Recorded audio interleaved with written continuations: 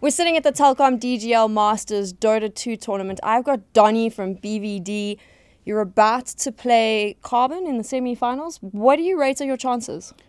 Uh, about 60 40, you know. Got a 40% chance to beat them. We'll see what happens. So humble. No, not really. They're just a really good team. So, you know, they have Scant. He's a, basically the one of the best captains South Africa. He's been around forever, you know. He's got a lot of achievements under his belt. You can't underestimate him. Okay, so I have to ask you this question because it's, it's come up in conversation. I, I heard a bit of a, maybe it's an urban legend, that you have a tendency to break headsets when White Rabbit Gaming beats you.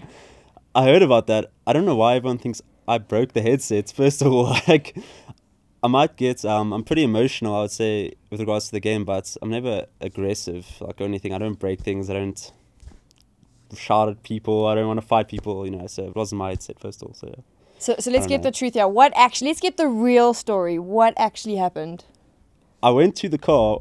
We found a broken headset on the floor. The next day, I hear people saying Doni broke his headset because they lost to WRG, and I was just like, okay, that didn't happen, but I mean, people believe it. Oh, so the story is over now. no more fun. No rumors. Who do you think you're going to be playing in the final? Um, What, what are you chatting about, That- about guys?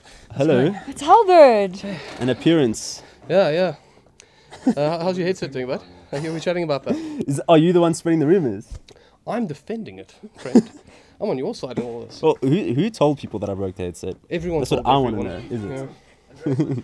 I think they have it on camera too. Oh, is it me slamming it? Yeah. Um, You look very angry. I was very angry, Yeah. disappointed. Were you also angry when you won in the end? Yes, I was actually. Yeah, I wasn't happy. Never happy, know. Um, she asked what how, what I thought my chance were in the finals or something like I that. said, I said, who will who will you beat in the finals? Oh, well, we first had to beat Carbon, like I said, 60 40, so there's a good chance we're just sitting in the spectator seats. Yeah. It's so like politically correct. What do you really think? I'm just trying my best, man. I can't, I can't no, but- control everything. But but Andreas has no power over me. We're going to do our best, and whatever happens, happens. We'll, we'll chat after.